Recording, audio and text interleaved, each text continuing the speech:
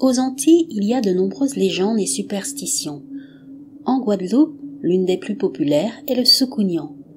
Un homme ou une femme décide de passer un pacte maléfique afin d'acquérir le pouvoir de se transformer en oiseau noir ou en boule de feu étincelante comme une sorte de feu follet. Cette apparence lui permettra alors d'accomplir ses méfaits plus facilement.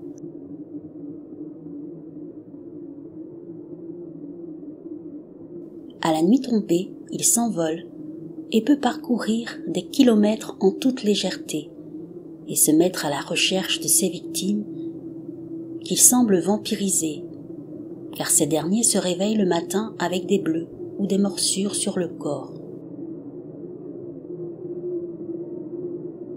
Pour entamer sa métamorphose, il doit se rendre sous un arbre immense recouvert d'épines pouvant mesurer jusqu'à 40 mètres de haut.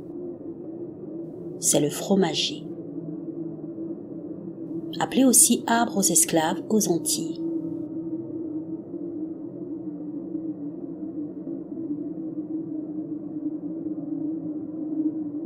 À l'époque de l'esclavage, des hommes y étaient attachés pour les punir. Lorsque le soukounian se rend dans ce fameux fromager, il se dit qu'après avoir fait quelques incantations, ce dernier ôterait sa peau humaine pour la suspendre sur les branches, puis prendrait l'aspect voulu.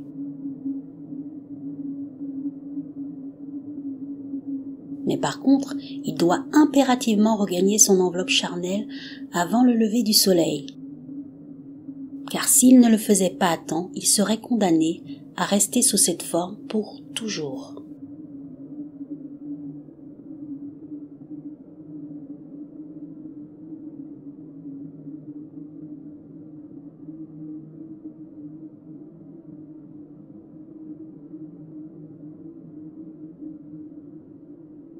Contrer les attaques de cette créature malfaisante, on dit qu'il faut tracer des croix sur les murs, planter une aiguille ou un sabre dans la terre.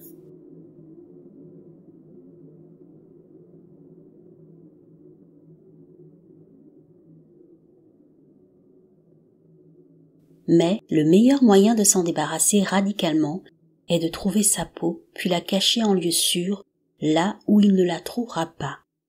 Ainsi, il ne pourra pas la réintégrer. On peut également y mettre quelque chose d'irritant, comme du sel ou du piment.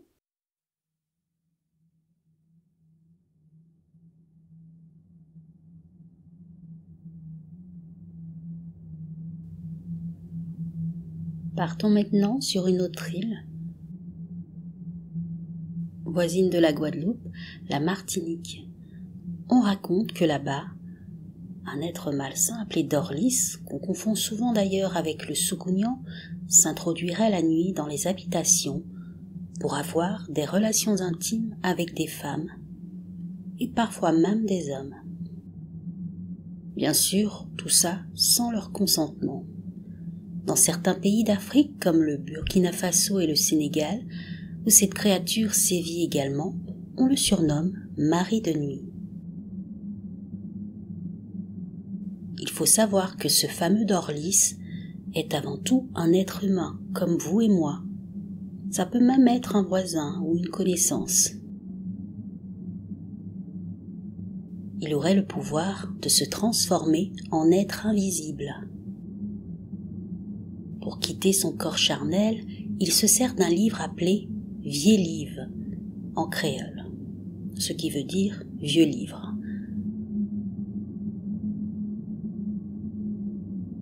Livre de magie noire qui n'est pas à mettre dans les mains de tout le monde, car sa lecture pourrait rendre fou. Ceux qui décident de l'utiliser pour pratiquer le dorlicisme, comme on l'appelle, ont intérêt à avoir une grande force mentale.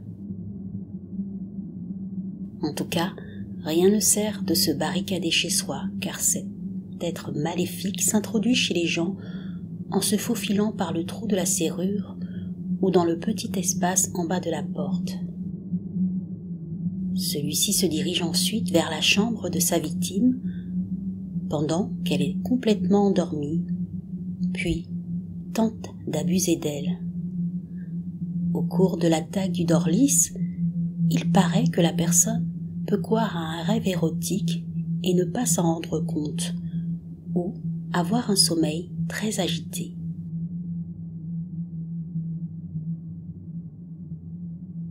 À ce moment-là, elle a l'horrible impression que quelque chose la cloue au lit, quelque chose de puissant, couché sur elle, la cloîtrant dans une sorte de demi-sommeil. Ainsi, elle ne peut se réveiller complètement. Pourtant, cette dernière essaye de se débattre et de crier, mais n'y arrive pas.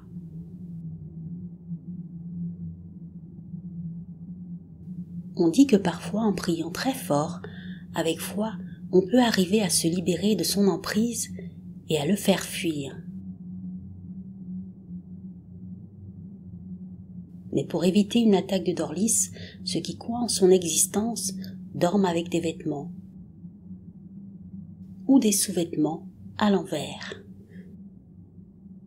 ou parfois avec une paire de ciseaux placés sous le lit.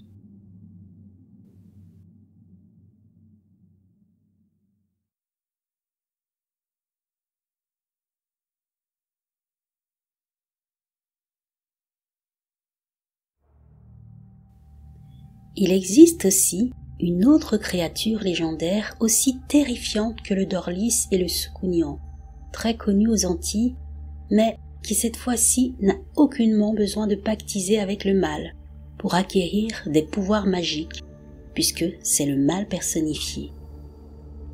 Cet être prend tout de même l'apparence d'un humain au féminin, une femme d'une beauté devant laquelle très peu d'hommes résisteraient, tant elle est ensorcelante.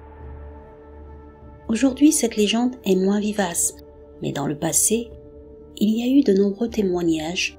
En effet, certains affirment avoir fait cette effrayante rencontre. Ils n'ont d'ailleurs jamais pu oublier.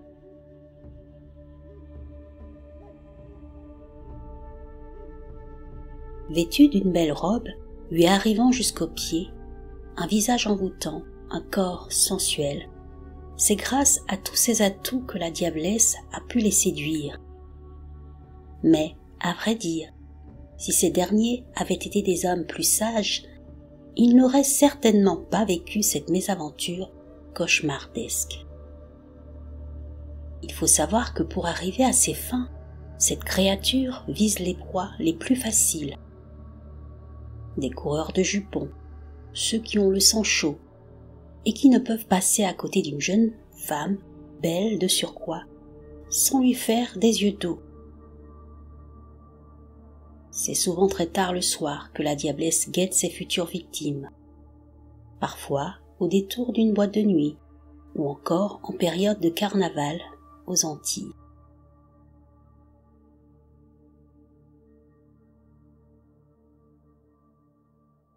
À ce moment-là, tout le monde est de sortie pour faire la fête, l'insouciance est de mise, et tout est propice au rapprochement.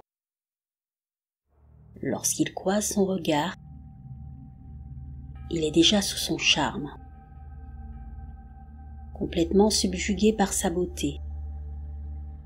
En un rien de temps, ils ont fait connaissance. Il est impatient et ne se méfie pas qui se réjouit déjà de savoir qu'il va pouvoir passer la nuit dans les bras de sa nouvelle conquête. Il décide donc de la ramener chez lui, ou dans un endroit tranquille, pour s'adonner à des plaisirs intimes.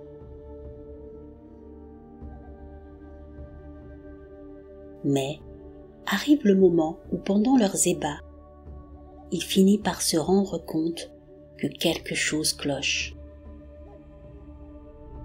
En effet, sous la longue robe de cette jolie femme, il découvre l'impensable. Son pied gauche n'a rien d'humain. À la place, c'est un sabot de cheval. Il n'en croit pas ses yeux, très rapidement, la peur l'envahit et le tétanise. Il est peut-être trop tard, car bien sûr cette chose ne lui veut pas du bien. Aussi, sa seule chance de s'en sortir avant que cet être maléfique ne l'entraîne avec lui au fin fond de nulle part, ou pire ne le tue, est de prendre ses jambes à son cou, le plus vite possible et sans se retourner.